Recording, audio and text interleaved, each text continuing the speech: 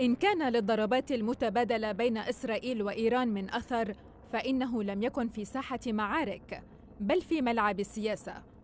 أعادت الضربة الصاروخية الإيرانية على إسرائيل الود المفقود بين الرئيس الأمريكي جو بايدن ورئيس الوزراء الإسرائيلي بنيامين نتنياهو وأعادت معه الدعم الغربي لإسرائيل الذي كانت قد استنفذته بسبب حربها على غزة وسقوط الآلاف من المدنيين جراء المعارك. منذ البداية شاركت واشنطن إسرائيل المعلومات والتفاصيل عن ضربة إيرانية محتملة. وخلال الهجوم شاركت الولايات المتحدة وتحالف ضم دولا أخرى في التصدي له.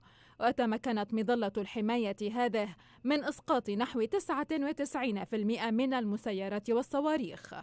بعد ساعات من الهجوم تلقى نتنياهو أول اتصال من بايدن منذ أسابيع. جدد بايدن خلال اتصاله التأكيد على دعم واشنطن لإسرائيل في الدفاع عن نفسها. ولإثناء نتنياهو عن الإقدام على الرد أو رد موسع. أبلغه بايدن أن عليه اعتبار ما حدث انتصارا بإفشال هجوم إيران وتأكيد تفوق إسرائيل عسكريا. ولمنع التصعيد أكد بايدن عدم مشاركة واشنطن في أي رد عسكري على إيران.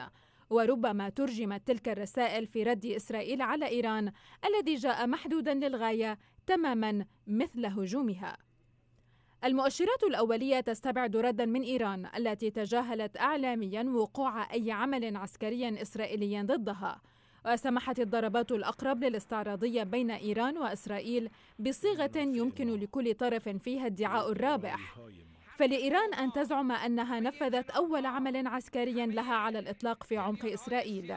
ولإسرائيل ولنتنياهو خصوصا فقد جاءت التطورات كما لو كانت حبل إنقاذ له من علاقة متوترة مع الحليف الأكبر واشنطن ومن حرب بلا نتائج حاسمة في غزة.